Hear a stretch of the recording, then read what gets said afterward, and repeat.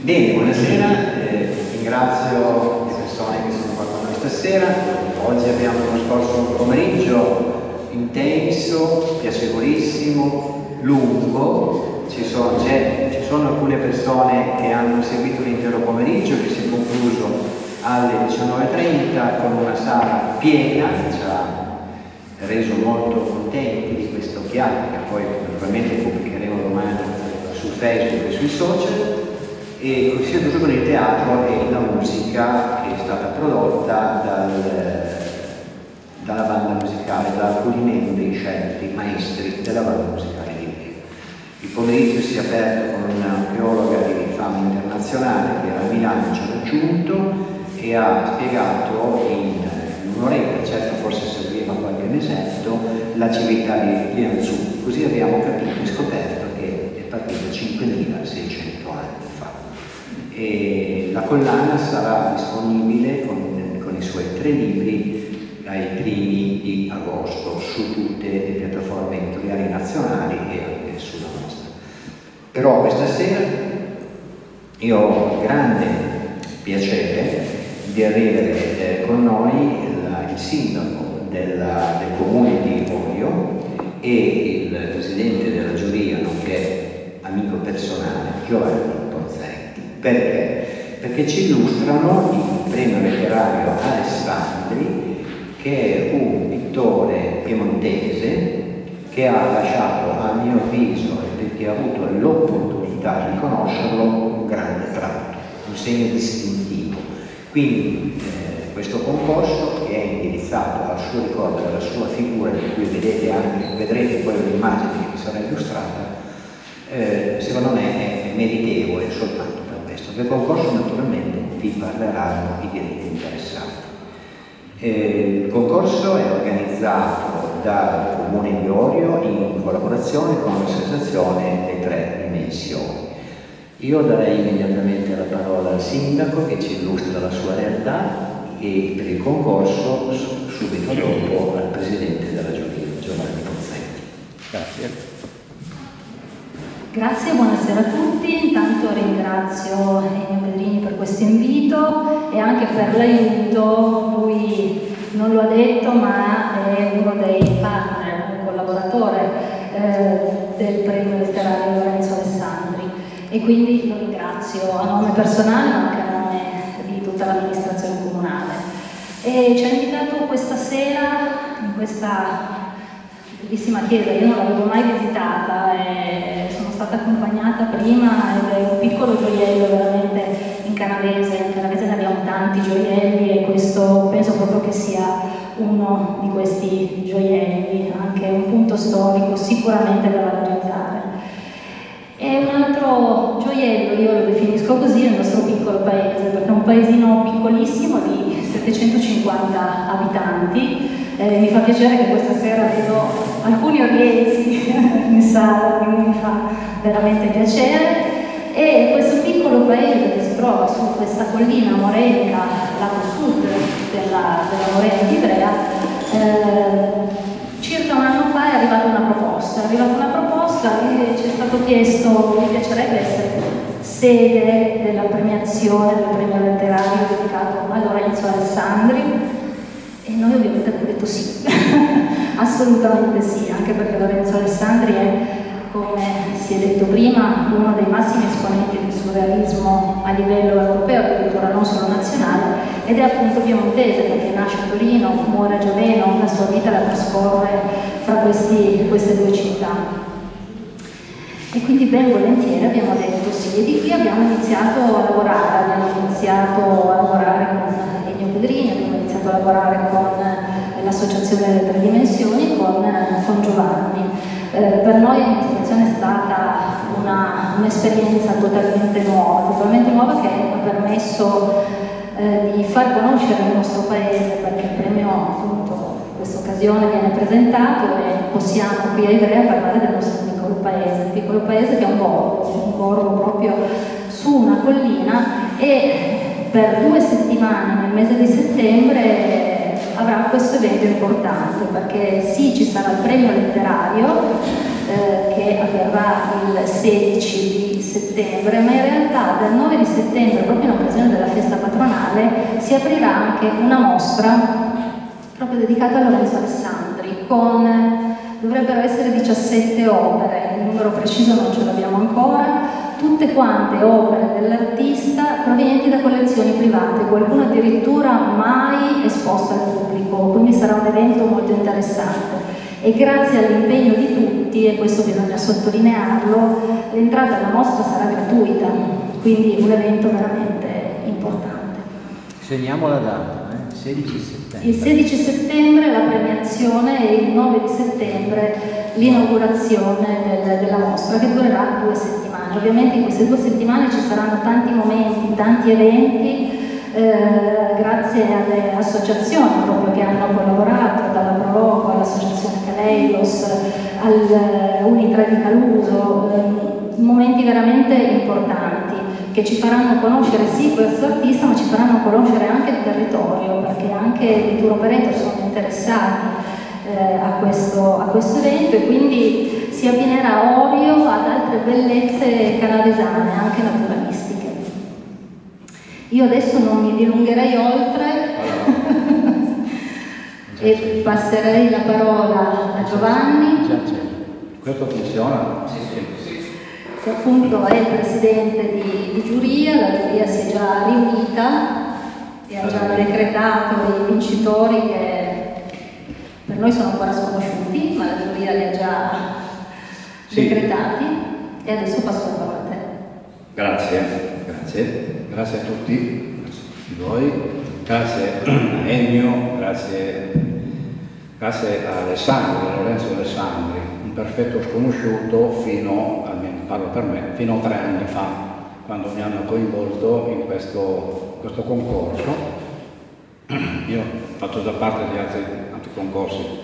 Questo è una cosa ancora diversa, perché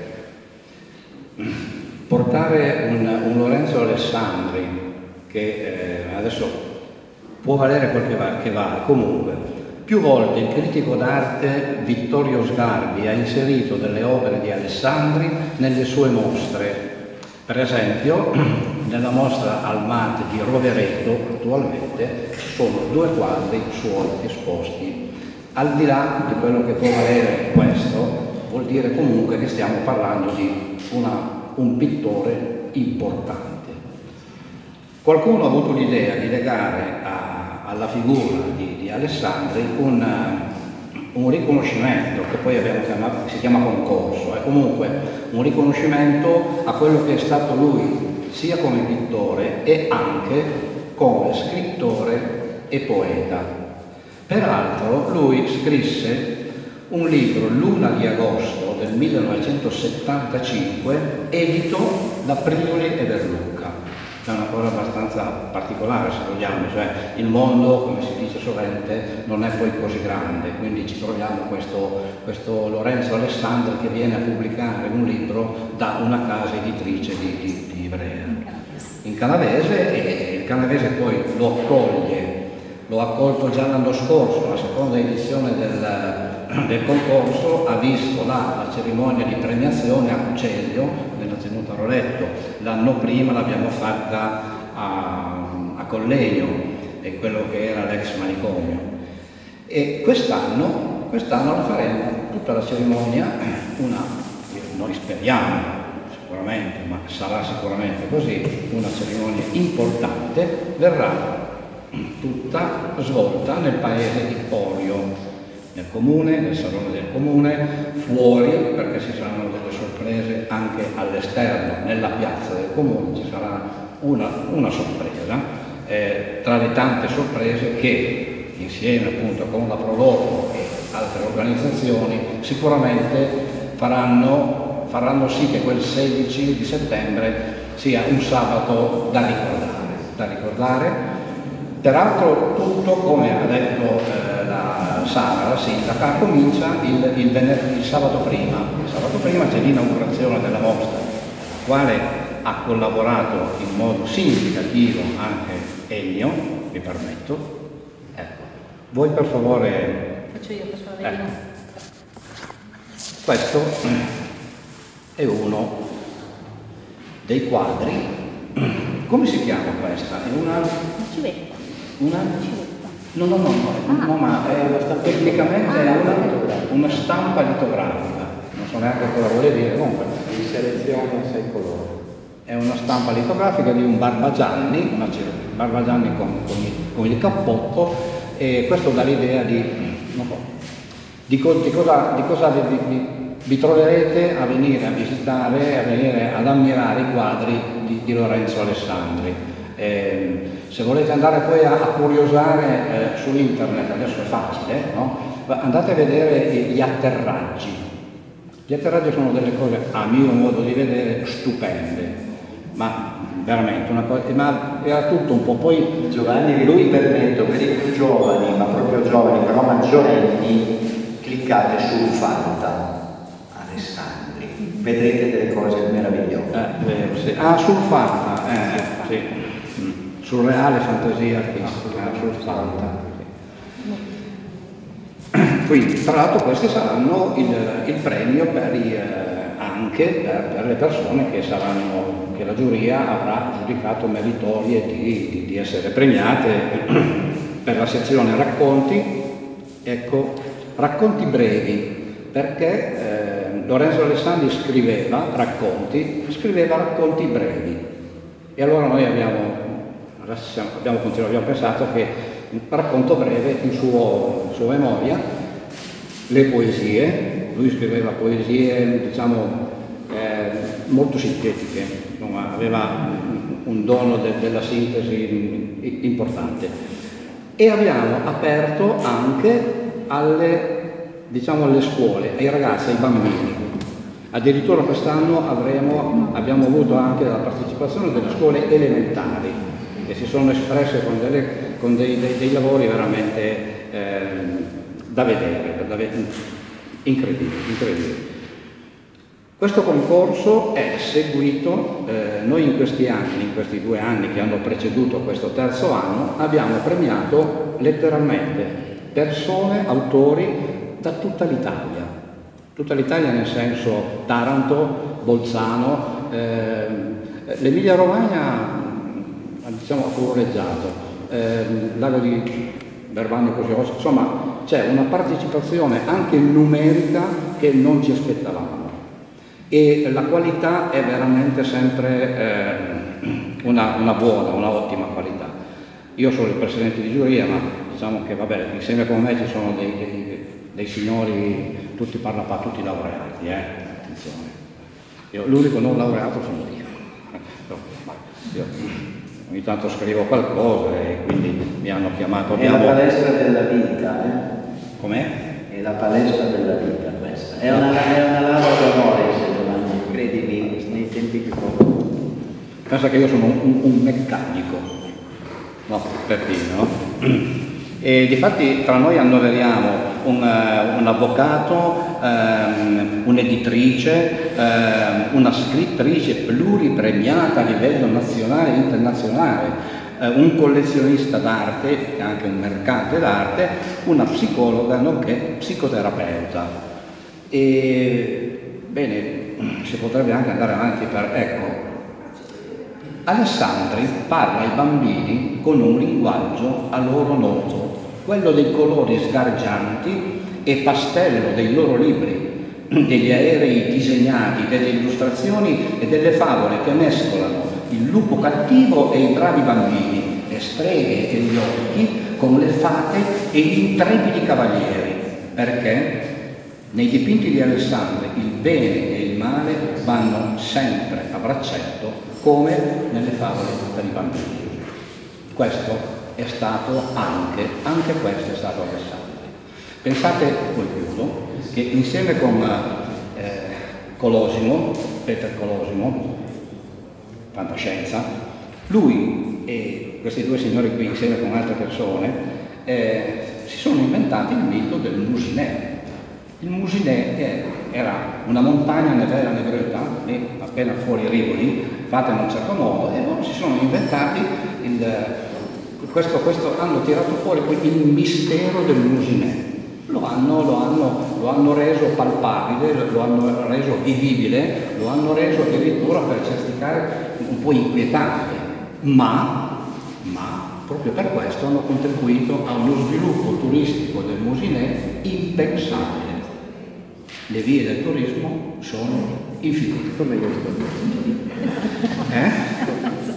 Quindi vi aspettiamo tutti sabato 16 settembre con delle sorprese che neanche vi potete immaginare. Avremo anche la Proloco che probabilmente diciamo che eh, ci aiuterà nel, cioè, pasti, non pasti, cioè, insomma, ci aiuteranno un po' di cose. Sarà una bella festa. Grazie per l'attenzione. Grazie.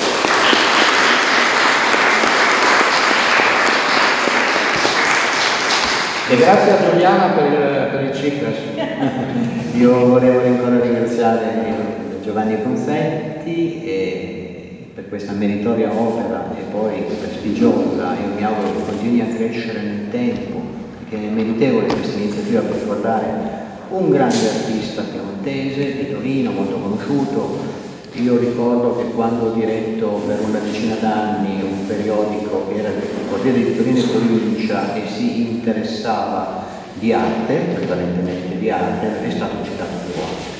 Alcuni suoi articoli sono stati pubblicati anche sulla Gazzetta del Canavese, dirigevo anch'essa negli anni eh, 90 e eh, direi che è essenzialmente un'operazione culturale e bene avete fatto collegarla con con una bella realtà come Orio. Io a Orio Canavese penso come molti qui presenti non ero mai stato. Ho avuto l'opportunità, grazie al tuo e all'accoglienza della sindaca, di conoscere la vostra comunità e quindi vi invito alla seconda settimana di settembre perché è il weekend del 6, del primo weekend, no, esatto, 9-10 a visitare questa mostra. Rimarrete assolutamente soddisfatti tanto più che avete appena sentito non bisogna neppure pagare l'ingresso. Ecco questa è nota di merito penso che anche il comune non è cosa da poco in tempi come questi. Vi ringrazio per la vostra presenza. Grazie a te per no, no grazie di essere qua ma ci mancheremo grazie